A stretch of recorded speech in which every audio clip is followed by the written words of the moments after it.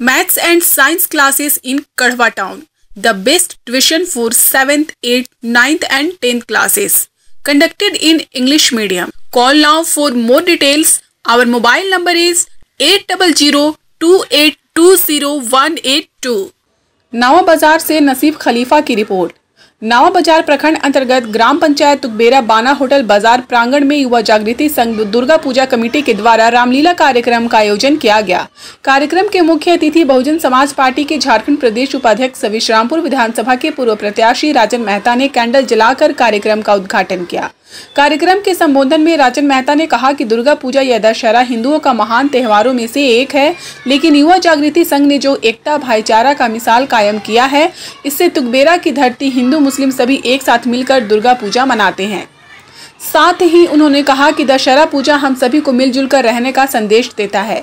युवा जागृति के अध्यक्ष सत्या मेहता ने कहा कि दशहरा पर्व हम सभी को ये संदेश देता है कि असत्य चाहे कितना भी बड़ा हो जाए, लेकिन अंत में सत्य का ही विजय होता है।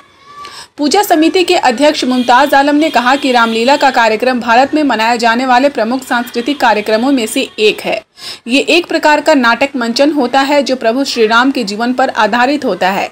साथ ही उन्होंने कहा कि युवा जागृति संघ तुकबेरा हिंदू मुस्लिम एकता और भाईचारा का प्रखंड ही नहीं, बल्कि पूरे ज़िले में एक मिसाल कायम किया है।